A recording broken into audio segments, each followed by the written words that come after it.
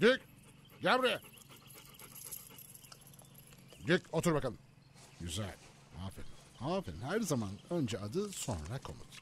Önce adı sonra Size komut. zarar verecek herhangi bir tacizci için size bir köpeğin neler yapabileceğini göstermek istiyorum. Burası bir köpeğin cephanesi olarak görünmelidir ve özel durumlarda çenesiyle kemik kırılana kadar baskı yapmak için eğitilmiş vaziyettedir.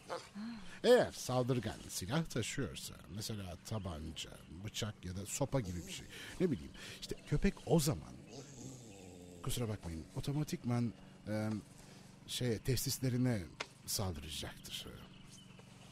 Peki ben bunu istemezsem? Bunu istersiniz hanımefendi. Hayır ben sadece korkutsun istiyorum. Ay, İnanın bana bu onları öyle korkutur ki kaldı ki size karşı yapmak istediklerini yapacak kapasiteleri kalmaz bu şekilde. Hepsi bu kadar Dük. Gel bakalım. Biliyor musun köpeklerin öfkesine karşı çok hassasım belki de. Size bir şey sormak istiyorum.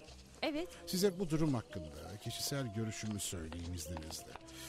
Ee, şey evli misiniz ya da bekar ya da evi biriyle paylaşır durumda mısınız? Nedir acaba vaziyetiniz? Şey ben boşanma aşamasındayım ve buraya taşındım. Çünkü evim soyuldu ve...